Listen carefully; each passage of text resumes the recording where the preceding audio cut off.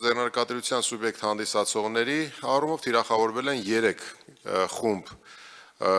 անձիկ, մասնավորապես առաջինը. Այն անձիկ, ովքեր 2019 թվականին հանդիսացել են ընտանեկան ձեռնարկատիրության սուբյեկտ, երկրորդ այն անձիկ, ովքեր 2019 թվականին հանդի, չեն հանդիսացել անհատ ձեռնարկատեր, այսինքն անհատ ձեռնարկատեր չհանդիսացող այն ֆիզիկական անձիկ,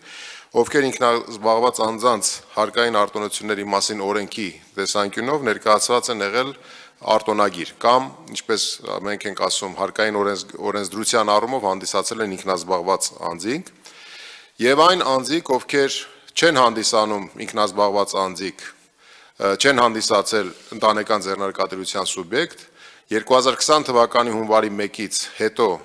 ներկայացրել են միկրոձեռնարկատիրության սուբյեկտ հանդիսանալու վերաբերյալ հայտ,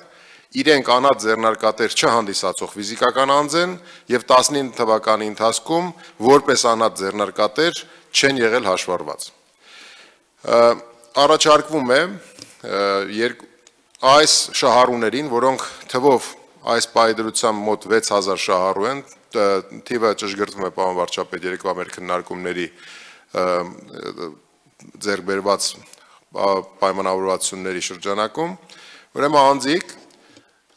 ստանում են միանվագ աջակցություն 2020 թվականի հունվարի 1-ից 2020 թվականի ապրիլի 1-ն ընկած ժամանակահատվածում մատակարարված ապրանքների, մատուցված ծառայությունների եւ կատարված աշխատանքների դիմաց իրացումից հասույթների 10%-ի չափով, բայց ոչ ավել նվազագույն աշխատավարձի կրկնապատիկը։ Անկախ այս միանվագ գումարի ստացման շահառուների, նաև միանվագ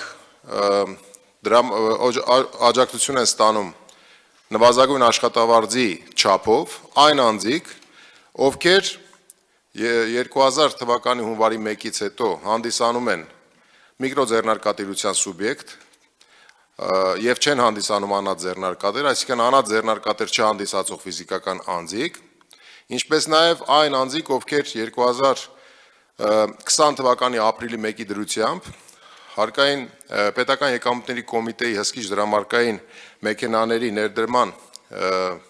գրասենյակ պետական ոչ առևտրային կազմակերպություն ունեն ներկայացրած հսկիչ դրամարկային մեքենայի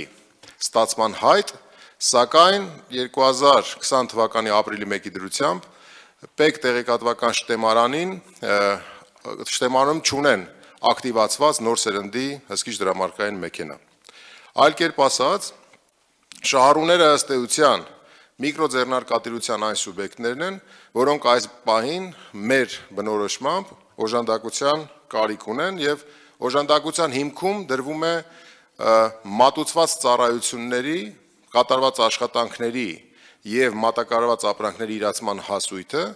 որը